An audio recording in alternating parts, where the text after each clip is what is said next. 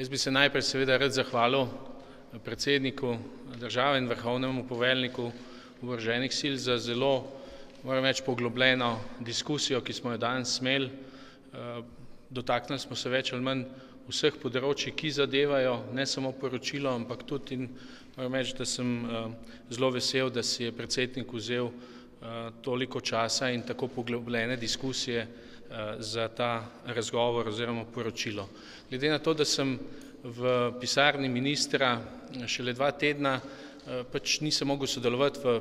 polno sodelovati v sami pripravi in se seveda zahvaljujem tudi svojim sodelavkam in sodelavcem, da so to poročilo za leto dva dvanajst pripravili, ampak seveda z dosedanjo seznanitvijo z delovanjem obrambnega resorja moram reči, da je seveda to poročilo v resnici zelo korektno pripravljeno in tule potrjujem tudi to, da smo želeli predsedniku države predstaviti res realno stanje in zavoljo tega so seveda tudi ugotovitve, ki jih ne bom ponavljal, o katerih je vas obvestil sam predsednik. Bi pa seveda v tem trenutku želel izraziti vso pohvalo za napore, ki jih je Slovenska vojska vložila v zagotavljanje svoje pripravljenosti v letu dva dvanajst, seveda v pogojih hude finančne krize in pa seveda restrikcij, ki so zadeli tudi Slovensko vojsko, in moram reči, da je Slovenska vojska prevzela svoj del bremena v krizi, s katero se soočamo, nekateri celo pravijo, da je njen del več kot sorazmeren. Naj samo povem, da je v zadnjih petih letih Slovenska vojska zmanjšala svoj proračun za tristo milijonov evrov, kar pomeni en letni proračun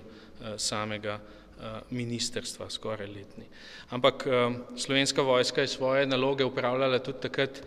ko je to se od nje najbolj pričakovalo, govorim seveda v mislih, imam reševanje v gorah, imam v mislih gašenje požarov in seveda sodelovanje v poplavah in tule bi seveda potrdil in pritrdil besedam predsednika, da seveda Slovenska vojska tudi v nadalje pripravljena še bolj sodelovati in ta želja Slovenske vojske vključevanja predvsem pri akcijah civilne zaščite in pomoči ljudem bo tekla še naprej. Uspešno je izpolnjevala tudi vse obveznosti, ki jih je Republika Slovenija sprejela v mednarodnih operacijah in misijah. Predvsem pa moram tule izpostaviti in zato me veseli, da je ena prvih usmeritev predsednika tudi za naprej je varnost naših vojakinj in vojakov, predvsem v misijah v tujini, predvsem na tistih kriznih žariščih, kjer je ta varnost še poseben, še posebej ogrožena. Naj samo potrdim še še z eno številko, glede na vsi govorimo o finančni krizi, naj povem, da Slovenska vojska zagotavlja iz budžeta šestinsedemdeset procentov za osebne dohodke, da je ostala na enaindvajsetih procentih, kar zadeva na neki način vzdrževanje opreme, ki jo ima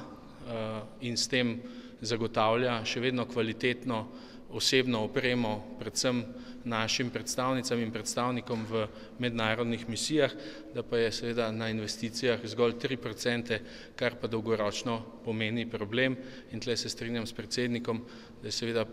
na neki način prišla stvar do dna in bo treba tudi pri rebalansu državnega proračuna paziti, da se segment, predvsem segment na vojaškem delu, če